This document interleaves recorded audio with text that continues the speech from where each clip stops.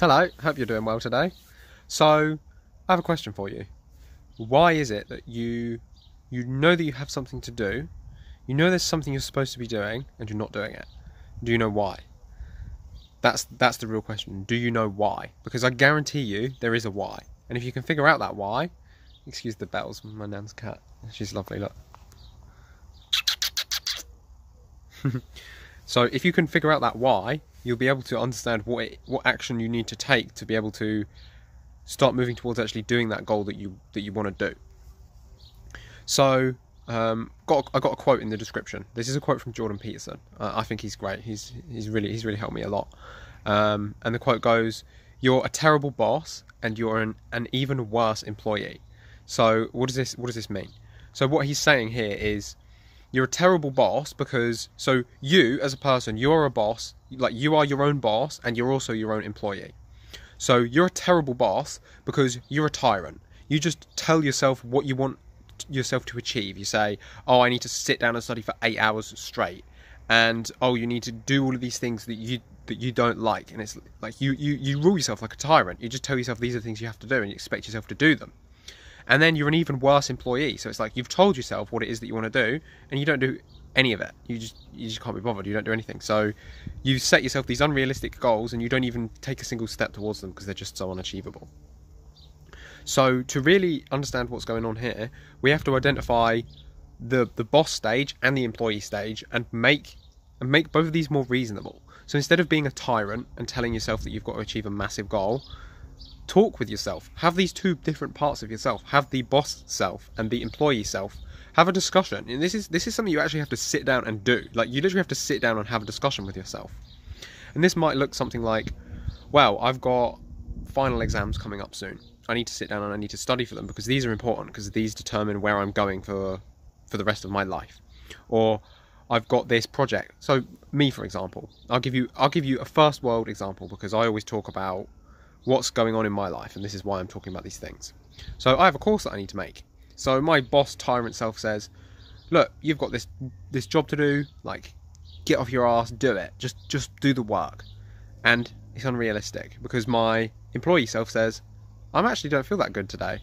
Um, I've got some pain. I've got a trigger point in my shoulder. I don't really feel very productive. I don't feel like recording classes. I'd rather do some something else, some some more creative work." And it's about having this dialogue. So I realised this tyrannical part of myself, this terrible boss, is saying like, do this, do this, do that, and it's like, okay, let's calm that down. What would be realistic? What's a realistic goal today? It's like, well, I'd actually be happy if I just did some work. Like, it doesn't really have to be that work that I had intended. It's, it's not that important. If I could sit down with myself and just say, let's do something productive and let's talk with this employee part and see what the employee part feels like doing. So I sit down and I have this discussion. Okay, I've the boss part's like, okay, we're working today. What are we doing? Employees employee part says, well, I don't really feel that good. I've got a really bad trigger point in my shoulder, and I do, and it's giving me a really bad headache, and it's horrible. And this is why it's important to listen to this part because it, it doesn't want to work. So it said, well, I don't really feel like working, so let's just not do any work for now. Let's just lay down and rest. So I just lay down and had a little rest, and it was like, hmm, okay, and as I lay down and rest, the creative juices begin to flow, and I'm like, hmm, I could I could do some some stuff today. I don't feel like standing up in front of a camera because that's going to make my trigger point hurt. But I can I can sit down and do a live and talk about this experience. That'd be okay. And then, as soon as I decided I wasn't going to do this class, one of my one of my clients reached out to me and said, "Look, I'm having a bit of a hard time today," and I was like, "Hmm." Now that I've just said no to this, this new opportunity has just arrived on my lap. So I was like, "Okay, how do you want a, a, free bonus session so we can just go through this and, and I want to help you walk, walk you through this. So we had a free, I gave him a free bonus session and we walked through some really cool thing. I won't, I won't go into details. So then I ended up doing that instead. And that to me feels way more fulfilling than actually having done things that I had intended to do anyway. And yeah, there's, I've got deadlines, I've got pressure on myself, but ultimately it doesn't really matter. These are just deadlines that I put on myself. It doesn't. It's that tyrannical boss part. It's like, oh, you have to do this, oh, you have to do that, and then the employee's like, well, watch me, watch me not do anything and see what happens.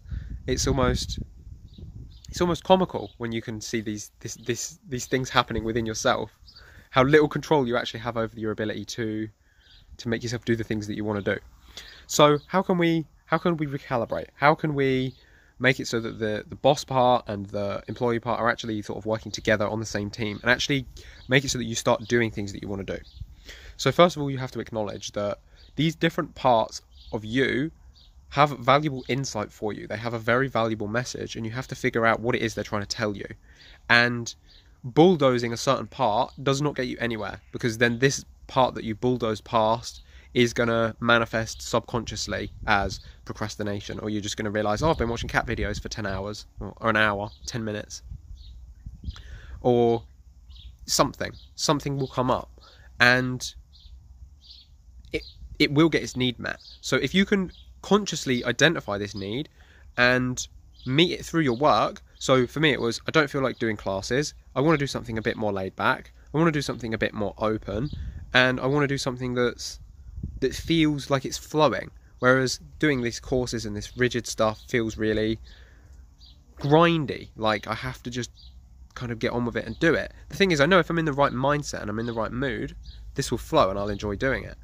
And this is this is me. This is sort of my inner part saying, now isn't the time to do this. If you do this now, it's not going to be as good as if you would have done it another time. So just wait. And I just took that pressure off myself immediately and I just went into flow. And it's like, okay, what can I do now? Oh, let's do a call with this. Oh, let's schedule a call with this lady. Oh, let's do this this live video. And now I'm feeling like way better about the whole situation. I'm feeling productive. I'm actually doing stuff and it feels more fulfilling and I'm actually I've actually realized that just forcing myself to do these these classes, these courses that I didn't actually want to do right now, it's actually better if I don't do them because if I do them later, I'll do them differently and they'll be of higher quality. So all of these self-sabotaging behaviors or procrastinations, these are just a part of you that is telling you that you need to do something. It's it's trying to get your attention. It's trying to make you focus on something. Sometimes these behaviors are protective. So, say for example, you know you need to, you hate your job, you absolutely hate your job, you want to quit, you hate your boss, he's a dick, you just want to, you just want to pack pack your bags and leave, but you can't because you've got family to support, you've got, you've got responsibility, so you can't do that. Well, the the action you really need to take in this situation is you need to get your CV together, you need to start applying to interviews and and to new jobs. So you're actually in a position where you can negotiate and say, look, boss, you're horrible. I don't like it when you treat me like this. I need a raise, blah, blah, blah. But if you're not in this empowered position where you can say no and you can walk away, you can't, you can't negotiate. You can't negotiate if you can't say no.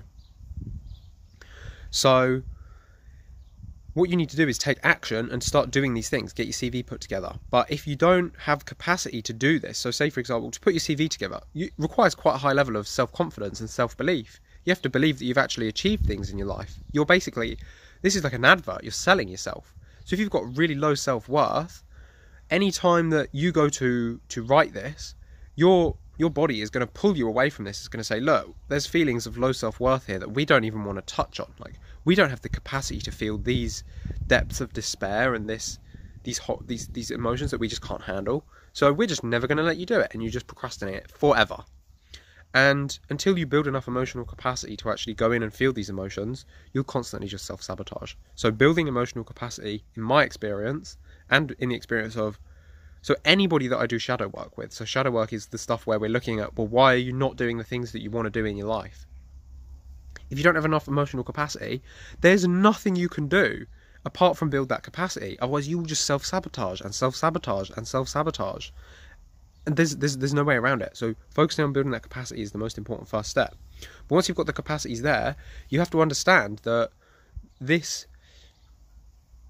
this behavior that you have, this aversion to doing what it is you want to do, is simply another part of yourself, maybe of your subconscious that you're not even aware of, coming to the surface and saying, like, we have other needs that we need to meet that aren't being met by doing this activity. So until you meet these needs, we're just going to meet them subconsciously, and then you procrastinate. So a very common one for procrastination is actually the need to rest. So you just, again, you're a, you're a tyrant. You just rule yourself like a tyrant. Just work and work and work like you're a slave. You need to rest. So if you don't actually consciously give yourself time to rest, how does this manifest? Well, you procrastinate because in these times of procrastination, it's like a, a form of forced recovery. So if you actually then identify, oh, I'm procrastinating doing this because I actually need to rest, actively say, okay, I'm going to stop doing this for two hours. I'm going to go and do some. I'm going to go and have some rest, and then that needs to be met. And then you come back and you're like, oh, I'm productive naturally. And you don't have one energy going this way, one energy going this way, and like an energy going here and another one down here. Like you're all going the same direction, and it just it, not only is it way easier to do because all the energy is going the same way. It doesn't require as much willpower to push it that direction. You get better results as well because this is what being in alignment is all about. So, here comes Lily. Hey, yeah. Hey, yeah. Come on. She's lovely. She loves getting stroked on her on her back near her butt. She goes absolutely crazy. Um. So yeah, I just wanted to share this. This is an experience that I just had myself. Um, and as I said, I just a part of me wanted to make this video. So here it is. I hope it's been really helpful. I hope it I hope when every time I make one of my one of these videos, I I always imagine that a lot of people don't like or comment or engage in my content, but they see it. Like one of my more popular videos, the one about Liverload, has got like nearly 4,000 views. I don't I don't know who saw those. I don't know who saw that, but I really hope it changed somebody's life. Like if 4,000 people saw it and one person got some insight from it and changed the direction of their life, that video was worth making. So even if this video gets like 20 views, 30 views, and no one comments or no one engages or anything, but you get some insight and it changes the direction of your life, it was totally worth it. So I really hope this helped you. I really hope that um, this has made some positive impact on your life, and it was worth it for me to for me to make this. So um, yeah, that's everything. I'll see you soon. Bye.